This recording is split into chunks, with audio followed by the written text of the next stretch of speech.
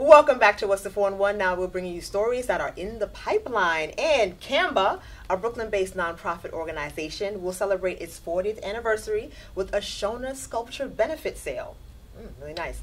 Where the public will be able to purchase affordable, original Shona sculptures from Zimbabwe.